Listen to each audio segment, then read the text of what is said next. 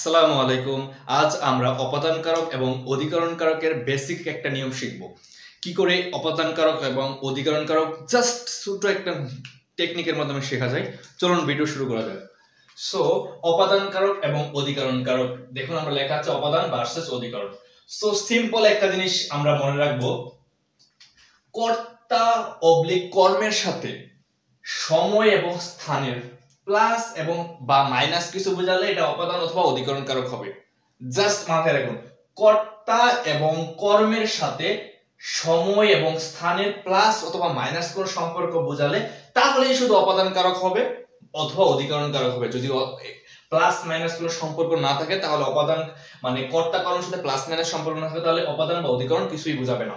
Simple আরেকটু যদি দেখি সো বাক্যে মাইনাস কিছু বোঝালে বাক্যে কর্তা বা কর্মের সাথে যদি স্থান বা সময়কে মাইনাস কিছু বোঝায়, তাহলে হবে কি? অপাদান। অপাদান। মাইনাস কিছু বোঝালে কি হবে? অপাদান। আর বাক্যে প্লাস কিছু বোঝালে কি হবে? অধিকরণ। অধিকরণ। প্লাস কিছু বোঝালে অধিকরণ। সো বাক্যে কর্তা বা কর্মের সাথে সময় এবং স্থানের প্লাস অথবা মাইনাস সম্পর্ক বোঝালে তাহলে হবে অপাদান অথবা অধিকরণ কারক। সো বাক্যে মাইনাস কিছু বোঝালে কি অপাদান? প্লাস কিছু বোঝালে অধিকরণ। আরও সহজ করে একটু পরে বলছি। যদি, তবে মনে রাখুন কর্তা কর্মের সাথে প্লাস অথবা মাইনাস সম্পর্ক যদি না বোঝায়, তাহলে কিন্তু অধিকরণ হবে না। সিম্পল সো আরেকটু পরে দেখতেছি। সো দেখুন, অপাদান, এই যে শব্দের মধ্যে কি আছে? দান। এই যে অপাদান কারক যে আছে, আমরা না অপাদানের মধ্যে কি আছে? দান। দান মানে কি? মাইনাস করে দেওয়া না? দান মানে কি? কাউকে দিয়ে দেওয়া। দিয়ে দেওয়া মানে কি? মাইনাস না? সো দেখুন, অপাদান শব্দের মধ্যে আছে কি? মাইনাস সো সব বাক্যে যদি কোনো কিছু মাইনাস করে দেয়, কর্তা কর্মের থেকে যদি কোনো কিছু স্থান বা সময় মাইনাস হয়, তাহলে কি হবে? কি হবে তাহলে? অপাদান। সো অপাদান, দান মানে কি? মাইনাস করে দেওয়া। দান মানে কি? মাইনাস করে দেওয়া। মাইনাস মানে কি? অপাদান। আর দেখুন অধিকরণ কারকের মধ্যে দেখুন তো, অধিকরণ। সো অধিক। অধিক মানে কি? প্লাস না?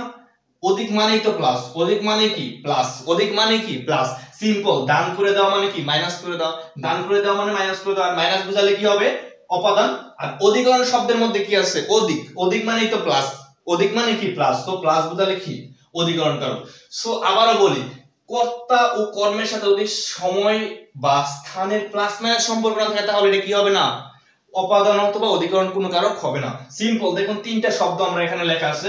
দেখুন, ট্রেন ঢাকা ছাড়লো ট্রেন ঢাকা পৌঁছালো, আর রহিম কখনো ঢাকা দেখেনি।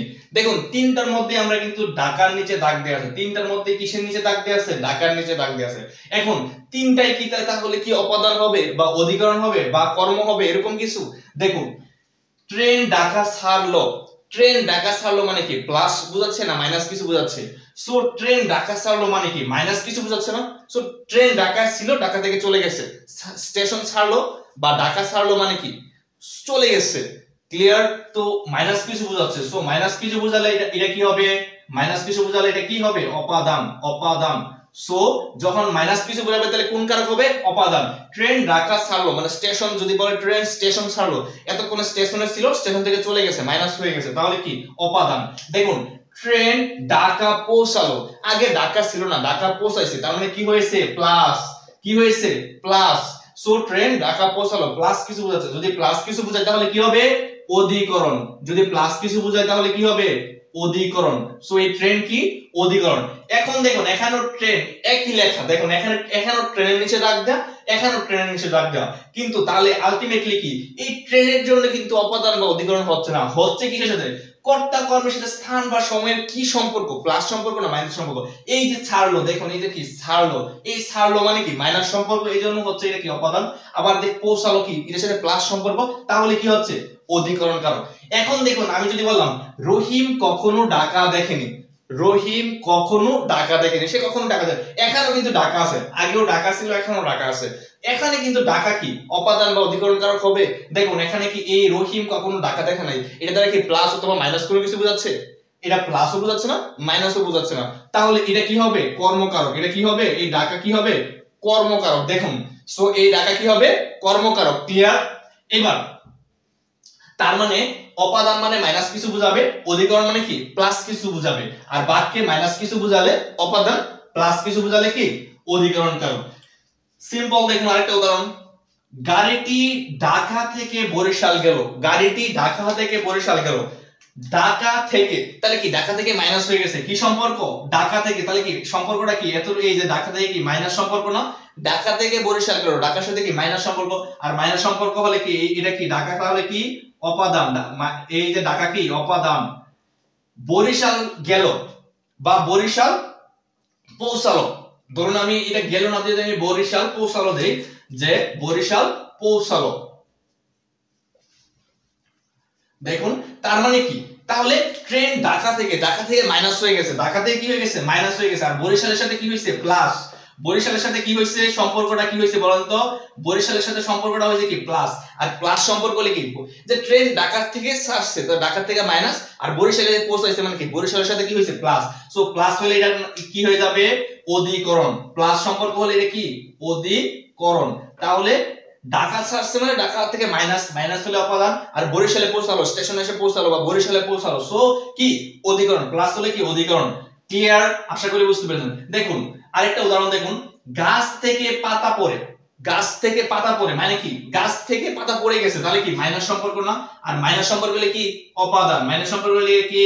অপাদান। তাহলে গাছ কি? অপাদান কারক তাহলে কি কারক? এই গাছ হচ্ছে অপাদান কারক দেখুন, গাছে পাতা আছে, তাহলে গাছের নিচে দাগ আছে গাছে পাতা আছে। তাহলে গাছে পাতা আছে কি? প্লাস সম্পর্ক না মাইনাস সম্পর্ক? অবশ্যই গাছে পাতা আছে কি হচ্ছে? প্লাস।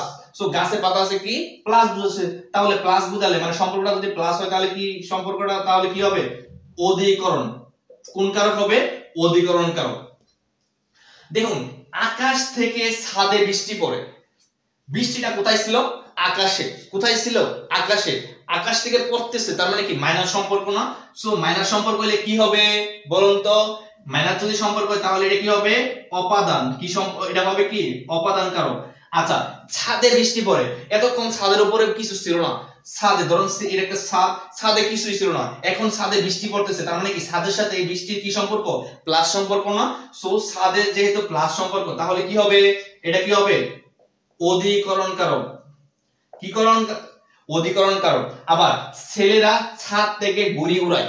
ছেলেরা ছাদ থেকে গুড়ি উড়ায়। ধরুন এই যে ছেলেরা এই ছাদের মধ্যে এতক্ষণ এরকম ছিল, এই যে সাত থেকে গুড়ি উড়াচ্ছে, ধরুন এটা একটা গুড়ি উড়াচ্ছে, ছেলেরা কি করতেছে? গুড়ি উড়াচ্ছে। আচ্ছা সিম্পল ছাদ থেকে গুড়ি উড়াচ্ছে কি? এটা কি? ছাদে এতক্ষণ গুড়ি উড়াচ্ছিল না, এখন এই ছেলেরা উড়ানোর কারণে আরও কি হয়েছে? সম্পর্ক, ছাদের সাথে গুড়ির কি সম্পর্ক? প্লাস সম্পর্ক না? ঘুরি উড়াচ্ছে। ছাদ থেকে তো পড়ে যাচ্ছে না, এরকম না। ছাদেই তো আছে ছেলেরা, বা ঘুরি তাহলে কিসের সম্পর্ক? এই যে ঘুরি উড়াচ্ছে তার মানে কি সম্পর্ক? প্লাস সম্পর্ক। আর প্লাস সম্পর্ক হলে কি? এটা কি হবে? অধিকরণ কারক। কি কারক? অধিকরণ কারক। সিম্পল যদি আমি বলি, দেখুন, ছেলেরা ছাদ থেকে নদীতে জাপ দেয়। ঘুরি উড়াচ্ছে বললে যে, এই যে ঘুরি ছিল কি? অধিকরণ, প্লাস সম্পর্ক। আর ছেলেরা ছাদ থেকে নদীতে জাপ দেয়। ধরুন, এটা একটা এটা একটা ছাদ ছাদ থেকে কি করছে? ছেলেরা কি করছে? এই যে এখানে ধরেন একটা নদী আছে, নদী। সো ছেলেরা কি করছে? এই ছাদ থেকে কি করছে? নদীতে জাপ দিছে। তাহলে ছাদ থেকে নদীতে জাপ দিছে। তাহলে ছাদ থেকে, তাহলে এটার সাথে কি সম্পর্ক? মাইনাস সম্পর্ক। আর মাইনাস সম্পর্ক হলে এটা কি হবে? অপাদান। আচ্ছা এবার ছেলেরা এসে নদীতে এসে পড়ছে। সো নদীর সাথে ছেলেদের সম্পর্ক কি? প্লাস না? এই যে নদীতে এতক্ষণ ছেলেরা ছিল না। ছেলেরা এসে এখানে লাভ দিয়ে পড়ছে। তার মানে নদীর সাথে ছেলেদের কি সম্পর্ক? মানে নদীর সাথে ছেলেদের কি? প্লাস সম্পর্ক না? তাহলে এটা কি? প্লাস সম্পর্ক না নদীর সাথে? সো এটা কি হবে এই নদীতে? তাহলে এটা কি হবে? অধিকরণ কারক অধিকরণ কারক। ক্লিয়ার দেখুন। তার মানে দেখুন যা সিম্পল কর্তা বা কর্মের সাথে প্লাস বা মাইনাস সম্পর্ক হলে কি? অপাদান বা অধিকরণ কারক হয়। যদি বাক্যের যদি মাইনাস কিছু বোঝায় তাহলে হবে অপাদান। আর যদি বাক্যের প্লাস কিছু বোঝায় তাহলে কি? অধিকরণ। সিম্পল অপাদান। ডান মানে কি? মাইনাস তাহলে কি? মাইনাস বোঝালে অপাদান আর অধিক শব্দটা থেকে বের করতে পারি, অধিকরণ। অধিক অধিক মানে প্লাস প্লাস হলে কি হবে? অবশ্যই কি হবে? অধিকরণ কারণ। এবার সিম্পল ভাবে যদি আমরা দেখি, দেখুন, তিলে তৈল আছে, তিলে তৈল হয়। দেখুন, শব্দটা ভেরি ভেরি ইম্পর্টেন্ট বিভিন্ন চাকরি পরীক্ষা থেকে দৌড়ে বিভিন্ন পরীক্ষা আসে। তিলে তৈল আছে, তিলে তৈল হয়। এখানেও তিলের নিচে দাগ, এখানেও তিলের নিচে দাগ। তাহলে কোন কারক হবে? দেখুন অপাদান হবে না অধিকরণ হবে? অপাদান হবে না অধিকরণ হবে? দেখুন, তিলে তৈল আছে। এই আছে মানেটা কি বলেন তো? আছে আর তিলে তৈল হয়। আবারও দেখুন, যদি আপনারা মুহস্ত করে ফেলেন যে তেলের নিচে তিল থাকলে এরকম হবে, তিলে তৈল হয় মুহস্ত করলে কিন্তু কারও চিন্তা হবে না, বুঝে বুঝে বুঝতে করতে হবে। দেখুন প্লাস এবং মাইনাস সম্পর্ক থাকতে হবে। দেখুন, তিলে তৈল আছে। আছে মানে কি? আছে মানে কি? প্লাস যেন তোমার, আমার সাথে আরেকটা ছেলে আছে, আমার সাথে আরেকটা বন্ধু আছে তাহলে কি? প্লাস না? মানে আরও একজন আছে। প্লাস সম্পর্ক হলে কি? তাহলে এটা কি হবে বলেন তো? এই যে তিলে তাহলে কি হবে? অধিকরণ কারক ক্লিয়ার আর তিলে তৈল হয়। মানে তিল থেকে তৈল উৎপন্ন হয়। উৎপন্ন হলো আমরা জানি কি? অপাদান। আর ওইটা দরকার নাই। কারণ এক কেজি তিল আছে। এক কেজি তিল আছে। ঠিক আছে? এক কেজি তিল তিলকে যদি আমরা তৈল বানাই, তাহলে কি আমরা এক কেজি তৈল পাবো? আরও কম পাবো না? মাইনাস হয়ে যাবে না কিছু? বা তিল আছে তিলটা মাইনাস হয়ে অন্য কিছু হয়ে যেতেছে না, বিচ্যুত হয়ে যেতেছে না? সিম্পল এক কেজি তিল থেকে কি কখনো এক কেজি তেল পাবো? মানে কমে যাবে মাইনাস হয়ে যাবে। বা এই তিল জিনিসটা তার তিলের মতো থাকতেছে না তেলের মতো হয়ে যাচ্ছে মানে বিচ্যুত হয়ে যাচ্ছে, নতুন কিছু হচ্ছে। তার মানে সিম্পল তাহলে এটা কি? মাইনাস কিছু বোঝাচ্ছে, ঠিক আছে? তার মানে এটা হবে কি? অপাদান। আশা করি আজকের পর থেকে এটা কখনোই গোলাবেন না যে আসছে মানে সে প্লাস প্লাস হলে কি? তাহলে কি? অধিকরণ কারক আর তিলে হয় মানে এক কেজি তিল থাকলে এক কেজি তিল হবে না, তৈল হবে না, আরও কম হবে মাইনাস কিছু বোঝাচ্ছে। সো এটা কি? অপাদান কারক ক্লিয়ার আশা করি এর মাধ্যমে আর কখনোই মানে সিম্পল এটা কিন্তু আমাদের যে কারকের একটা বেসিক জাস্ট থিম দেখালাম। আমরা ধারাবাহিকভাবে পরবর্তী যে পর্বগুলোতে আমরা ধারাবাহিকভাবে একদম বেসিক থেকে ধরে সবকিছু অধ্যায় ভিত্তিক বা টপিক ভিত্তিক আলোচনা করব। জাস্ট একটা বেসিক আলোচনা দেখালাম। আর আমাদের এই পূর্বের আরও সন্ধি নিয়ে আরও অনেক বিস্তারিত ভিডিও আসছে বা অনেক ভিডিও দেওয়া আছে। আপনারা ভালো লাগলে এই ভিডিওগুলো দেখবেন। দেখবেন এবং অন্যদেরকে সাজেস্ট করবেন। ধন্যবাদ সবাইকে।